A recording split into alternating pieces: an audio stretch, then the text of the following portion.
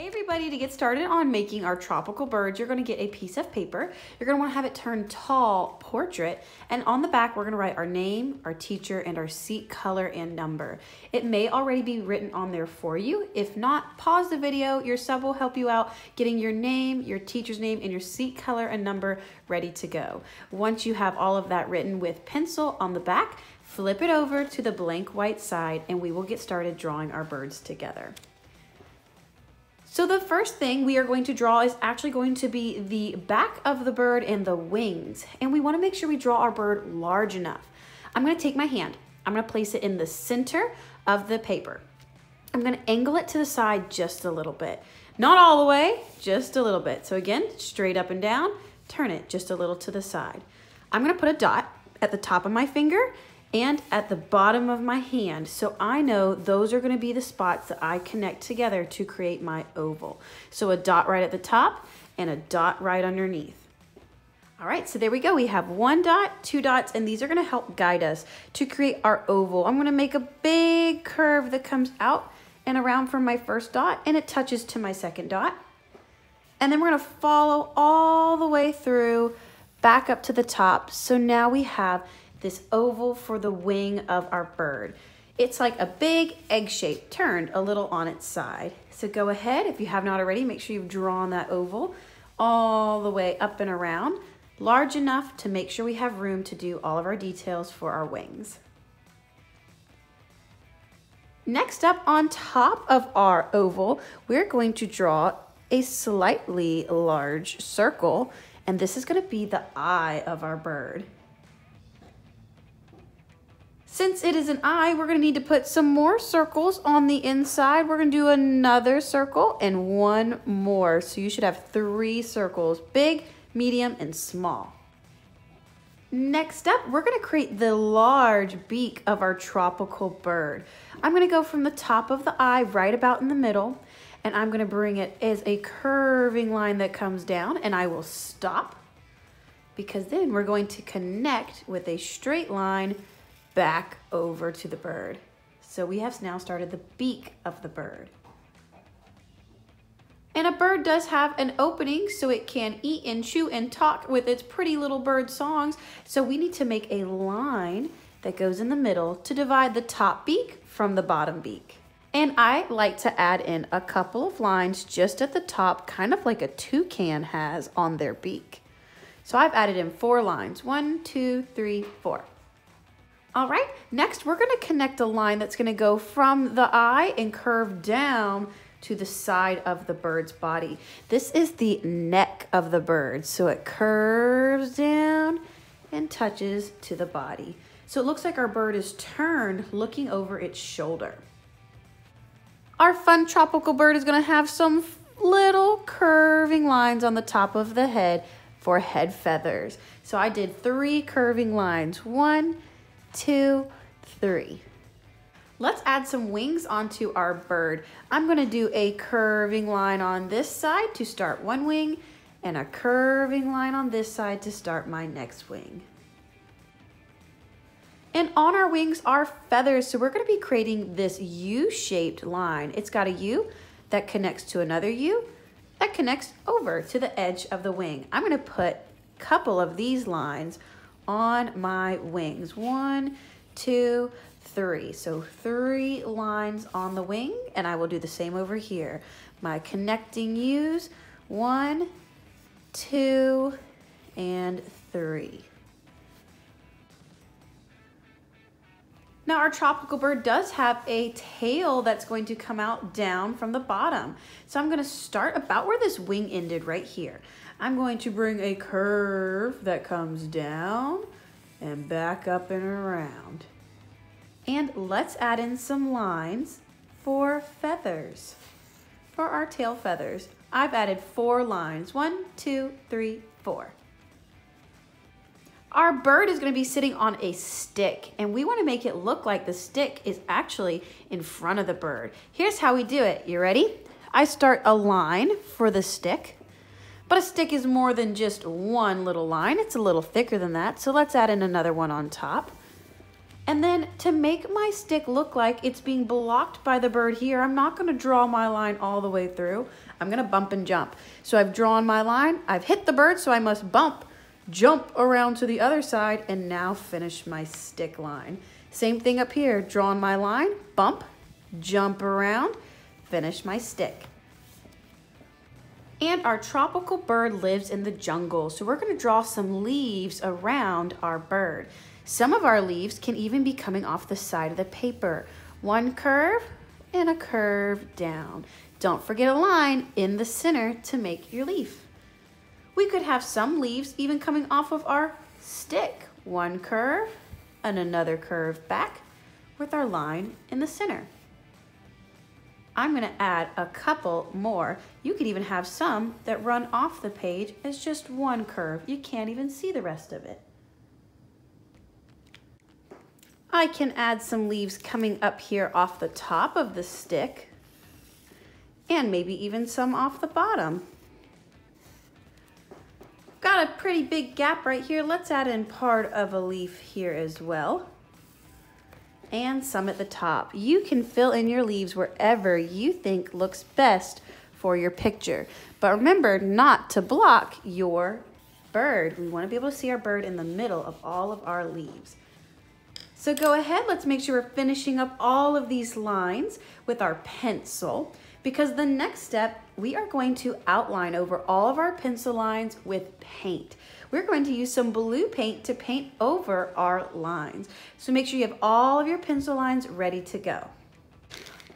All right, so now that I have all of my pencil lines finished up, I'm ready to start painting in with blue. Now I wanna make sure I have a messy mat underneath my paper. My messy mat is a pink messy mat. You know where our messy mats are at. So we are going to use, for this project, let's use a mini messy mat. One that is not so large, just comes off to the edges. We wanna make sure our, we are keeping our um, tables as clean as possible. So we're going to be getting some blue paint. So you can see I have the blue paint in the hairs of my paintbrush and we're gonna paint on top of all of our lines. Here's how I like to do it to make sure I'm not dragging my hand through my picture. I start at the top. I'm gonna do as many lines at the top I can, and then I'll start making my way down. So I'm gonna go ahead and show you outlining all of this with blue.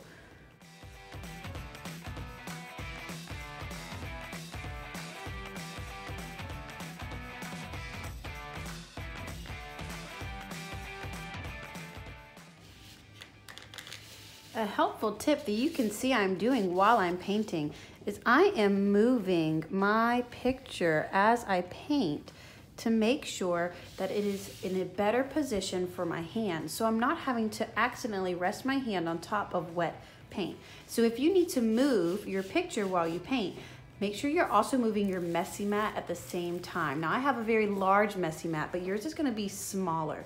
So move both your picture and your messy mat at the same time if you need to move to make it easier to paint.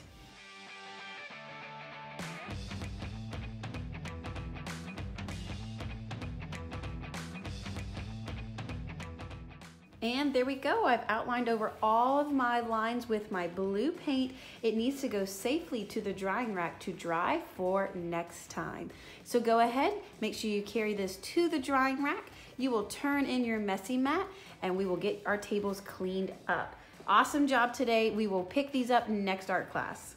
Welcome back. I hope you guys are ready to do some watercolor today on our birds because we are jumping right on in. So our birds have had enough time to dry, so our paint is no longer wet and we are gonna be adding in some watercolor paints. You're gonna receive one of my large watercolor palettes you will be sharing with your shoulder partner.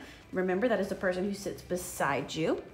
You will also be sharing your towel and your water cup, but you will each get your own paintbrush. So to use watercolor, your palette will start like this. It is dry. These colors are not wet. They have dried. They need water in order to activate, to wake them up. And we want to think about it just like with our paint. If we were using paint and scooping lots of paint out, there'd be no paint left to use. So we don't want to take our brush and scoop super hard because you're gonna take away all the paint from the tray. You also don't wanna scoop super hard because what would happen to your hairs? Oh no, they would start to have a bad hair day. So we wanna make sure we're treating both our brush and our paints with kindness and respect. So when we wanna activate a color, like I wanna paint this leaf green. I have two greens in my palette right here.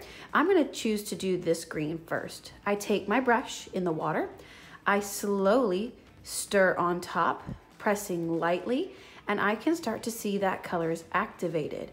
I can then take the green that is on my paintbrush's hairs and I can paint in my leaf green. If I want more watercolor, I just come back, tap, tap, tap, lightly grabbing some more color, and now I can paint some more parts of my picture. If you are pressing down super hard on these, you're going to take away all the paint. You're gonna make it where it starts to fall out and you're also going to potentially even ruin other colors beside it because you're sloshing it all around. So make sure you're just going slightly on top. I do not need to reactivate it anymore because it is already wet. So I can use this same green to start going in and painting in some more of my leaves. But what about that other green in my palette? What about this green? I'd like to check out what that one looks like. I need to make sure my brush is clean. Just like we've talked about before, it needs to go in the water, swirl around. Check to make sure that your brush is actually clean. If you still see color on it, swirl again. And don't leave him cold when he gets out of the bath. Make sure you dry him off. Now, let's activate our next green over here. A couple light swirls around. I can see it is ready to go. It's juiced up. Ooh, this one's like a little bit of a lighter green. How pretty. So I'm gonna go ahead and finish painting in all of my leaves green. I think that's a fun place to start. So let's add some more green to our leaves. If you're swirling on top of your color and you're noticing that it's not blending and painting as well as you would like on your paper, maybe get just a little more water on your brush, tap a few more times, and then you will be good to go. Remember, we want to go always lightly in our palettes, never pushing down super hard. So here we go. I've got all my green leaves painted in. Now let's paint in the toucan or the bird and its stick. I'm gonna leave all this space around our bird, our tropical bird. It is kind of like a toucan. I'm gonna leave it all white for right now. I'm only worried about painting in the bird. And for this, you can of course choose any colors. Our bird is gonna be very colorful. So I'm gonna make sure my brush is cleaned out as I start to pick colors to put on my bird. Any color that has not been activated, I will activate it by lightly swirling on top, going back and starting to paint. And you can paint right on top of your blue lines. It won't smudge and smear around. Something fun you can also do with your watercolors is you can start to blend colors. So I have my orange that I started painting in here first. While it is still wet, I'm gonna take my paintbrush, add in my second color, and I'm gonna mix the two together so you can see what they start to look like when they blend together. So I have my orange at the top, my purple at the bottom, and then this fun little blend in the middle. You can also take your paintbrush, dry it off on the towel, so it's a dry brush, and just come back and add a few little strokes between the two to help really blend them. So you can have fun blending your colors as well on your bird. Look how beautiful our bird is looking with our watercolor on it now.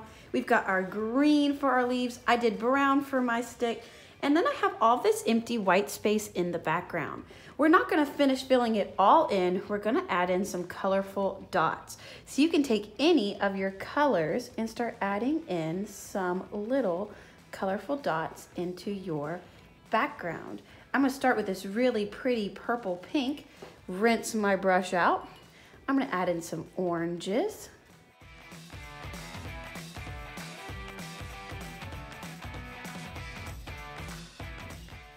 And then my final color I'm going to do is I'm going to use yellow. Can you use as many colors as you want?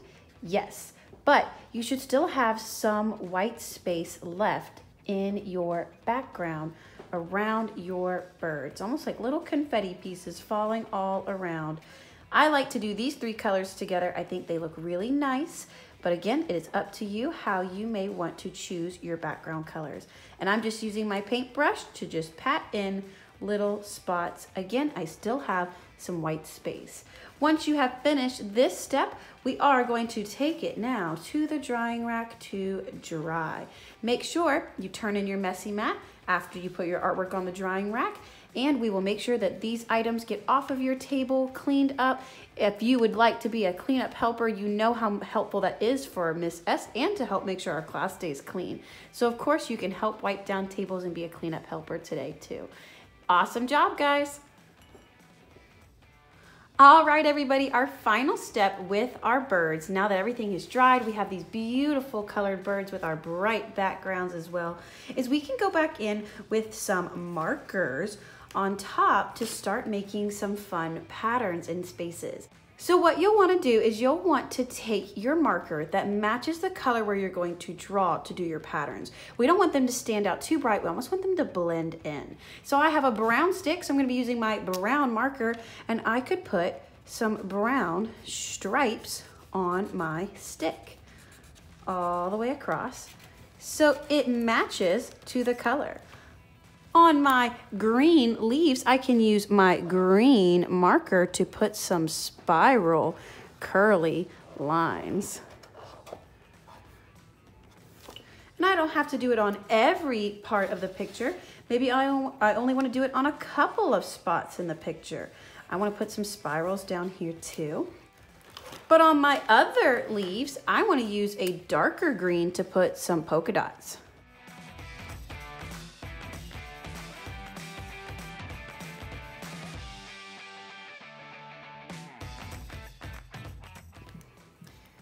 Using my colors to match in the body, I'm also going to do some wiggly designs.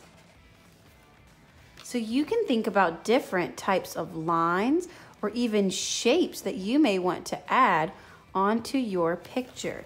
Remember to match your colors. So on my beak, since it's red down at the bottom, I might want to do some red circles. Notice how they don't stand out too bright. We want them to almost blend in. And look how cool that looks. Again, you don't have to do it on every part of your picture. You can leave some spaces just the way they are, but let's add in a couple fun little pops of surprising lines and shapes to our picture. And then my final thing that I like to add, and of course, if you like to add this too, you can. We have so many different green options with our markers, and you can choose any of your greens. I like to think about in the jungle, there are not only lots of leaves, but lots of vines. And I am gonna add some twisting, curving vines in my background. And what's fun is I'm almost playing like dodge the paint spot. So if I have one vine that goes through here, it's going to jump around those paint spots, bump and jump around anywhere where it may hit your bird and run off the side of the page. So I'm gonna add in some squiggling vines, bumping and jumping, dodging those paint spots as best as it can, woo, to create some of these fun, wiggly, squiggly vines all the way around in different spots.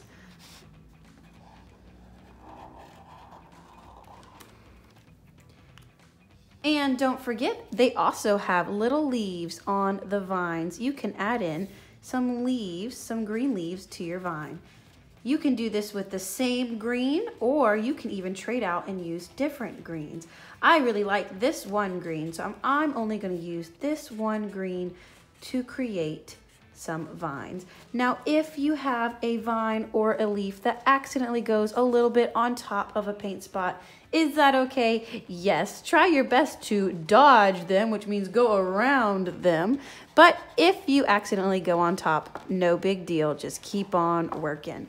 So let's add in our final squiggling vines, our last touches to our patterns and designs, and we will have a finished, beautiful tropical bird. I hope you guys had fun creating and I will see you for the next project.